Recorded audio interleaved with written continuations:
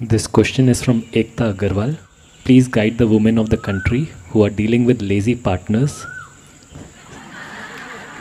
stubborn parents, bored children on how to coexist compassionately amidst all the chaos when household workload has increased and our work front identity has disappeared. You are a very fortunate woman. You have a lazy partner. An overactive man, twenty-four hours in the house, he is a bull in the china shop. He's lazy.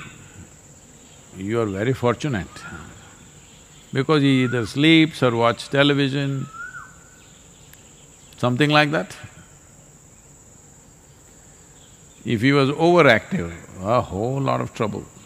No, your idea of being a more active partner is that he will come into the kitchen and wash dishes and sweep the floor and… Mm, there are some very nice men like that, but most men are not like that. I'm not saying washing dishes is a woman's job, cleaning the house is a woman's job. No, but man doesn't mind living dirty.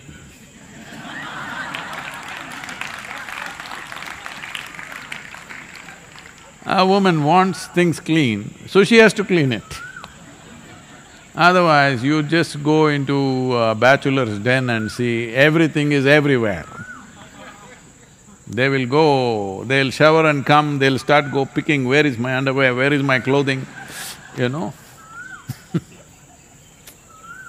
Here uh, at the yoga center, we are training the men to be little more hmm, disciplined. Otherwise, it is uh, in the mindset of a man that You know, it's taken… I've seen in the last forty years, uh, I've been constantly trying to get people to park their footwear together. Because it's a male disposition to come and kick the footwear, one here, one there. Now we've, uh, you know, we've awakened the feminine in all the men here at least and in all our programs that they all park their footwear properly. Usually, they will kick it out and because the woman cannot bear it, she will come and put it together somewhere. So, because this happened, once Shankaran Pillai, now, not once, now, in the virus era, because this will be remembered as a era In this virus times, Shankaran Pillai went and parked his car in the emergency entrance of a hospital, where the emergency lane. Uh, then the police came and pulled him up and uh, said, what is this? He said, well, it was marked there, uh, fine for parking.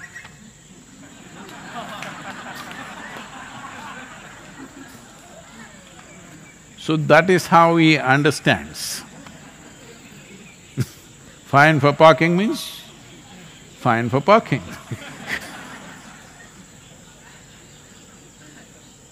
So, uh, what… what are the children's qualities? Stubborn parents and bored children. Oh, okay.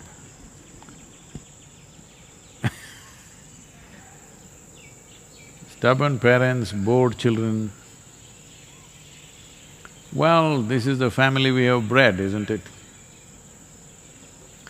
And uh, you're losing your professional identity, that's a good thing actually for some time, unless you're working from home. This is important to understand, that this is the best time if you want to transform your family, whatever they are, they're stubborn, they're bored, they're lazy, they're overactive, they're nonsensical, whatever they are, different people are different things. But now you have them captive in your home. If you want to transform them, this is the best time. Because once they go out, they're not available. So whichever way you wish to transform them, if you want to try, there is no better time than the virus era because they're all stuck in the house. They have to. If you say ten things, at least two things they must do, they can't just ignore it, however stubborn or lazy they are, or however bored they are. If you say ten things, at least two things they got to do, because otherwise, nourishment is in your hands, from what I understand.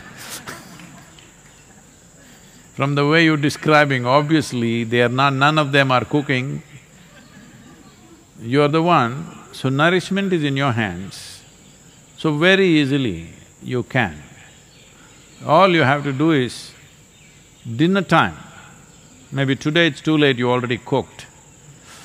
Tomorrow, breakfast time, ask everybody to whatever time, you know, they will…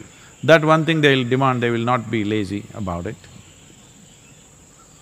So breakfast time everybody arrives, you also sit down, if necessary, uh, say asatoma, sadgamaya or sing a song if you want, if you know how to sing but no breakfast.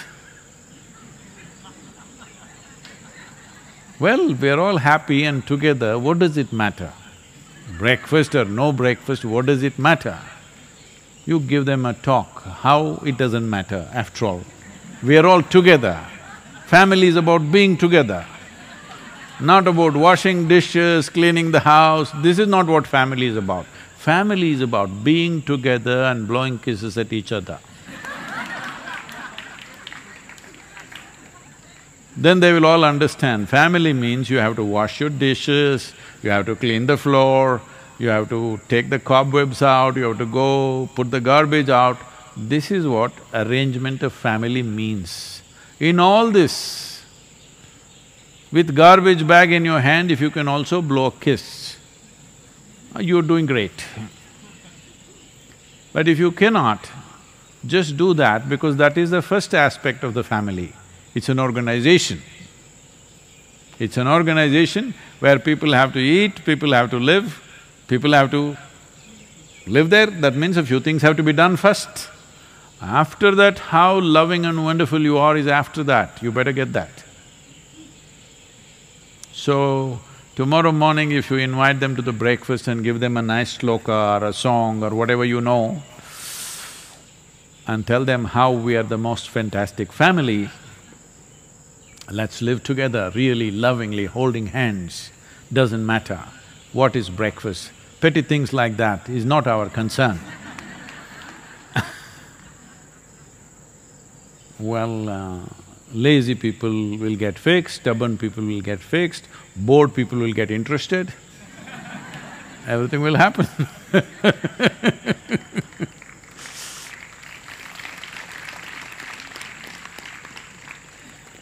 Don't think family means uh, a big love affair. No, it's a lot of management.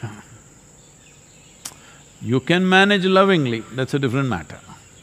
But lots of management, otherwise no relationships will endure without sensible management of situations. Very important.